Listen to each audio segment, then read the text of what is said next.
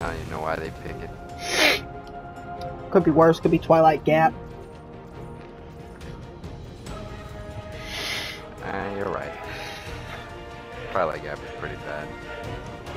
Saying that. People running around with shotguns and sitting in the back with pulse rifle and scout.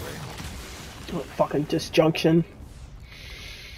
Everybody puts on a scout rifle and goes out the side. It feels like trials. It's.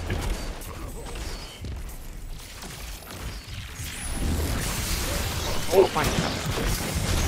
Somebody in here with us? It was. Dude, this guy's clan tag is small CP guard.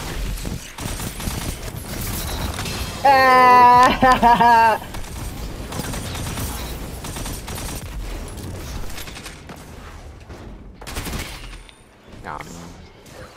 I'm clipping that.